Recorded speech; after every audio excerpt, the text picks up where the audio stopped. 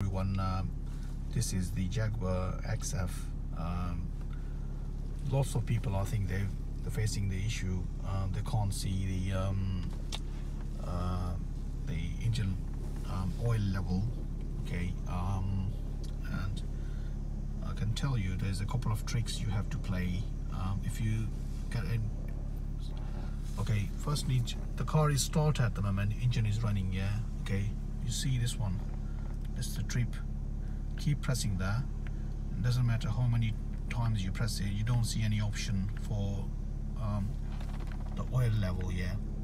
Okay? It's just only the reason. You can only see the oil level things in the menu when your engine is off yeah. Okay so for that things at the moment the engine is running I'm gonna turn the engine off.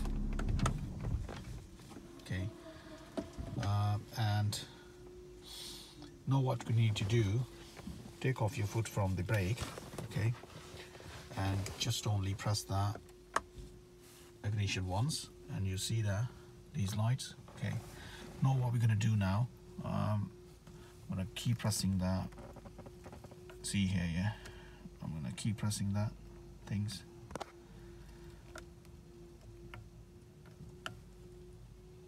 Okay it says uh, uh, not available see handbook. Okay.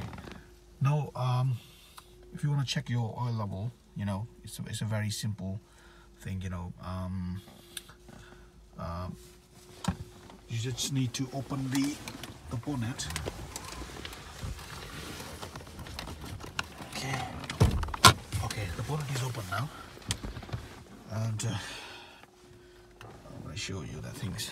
Okay you got warning there. It says the bonnet open yeah okay I'm gonna do the exactly the same thing you know just to open the bonnet here and just keep pressing this uh, trip button.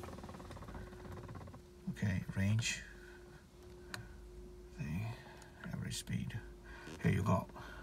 So um, if you if you see like it says like you know um, the um, option is not available see um, handbook then it's a simple just uh, the bonnet and retry the same thing and make sure um, engine is not start it's not running just only the ignition is on okay and the, the bonnet is open. And then you'll be able to see the um, oil level. Thank you very much for watching my video. If you like my video please subscribe my channel. Thank you